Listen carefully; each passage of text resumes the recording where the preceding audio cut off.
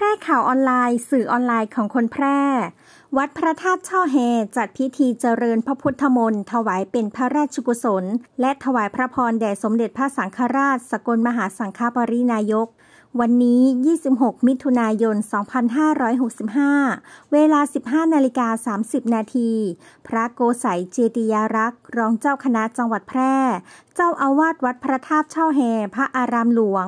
นำคณะพระสงฆ์ในวัดเจริญพระพุทธมนต์ถวายเป็นพระกุศล และถวายพระพรแด่เจ้าพระคุณ สมเด็จพระอริยวงศาคตยาน สมเด็จพระสังฆราชสกลมหาสังฆปรินายก เนื่องในวันคล้ายวันประสูติ ทรงเจริญพระชนมายุ 95 พรรษา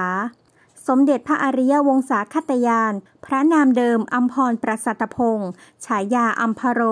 ประสูติที่บ้านตำบลบางป่าอำเภอเมืองราชบุรี จังหวัดราชบุรี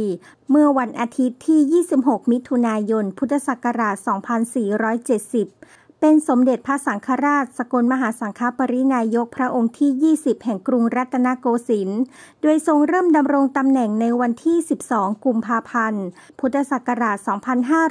2560และทรงเป็นเจ้าอาวาสวัดราชบพิตรสถิตมหาสีมาราม ราชวรวิหาร ประธานกรรมการมหาเถรสมาคม เจ้าคณะใหญ่คณะธรรมยุทธ์แม่กองงานพระธรรมยุทธ์ค่ะ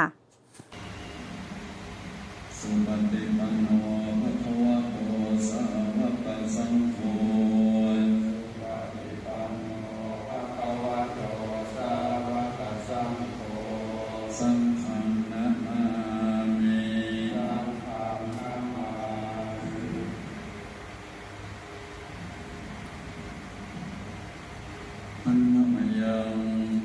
พุทธัสสะภะคะ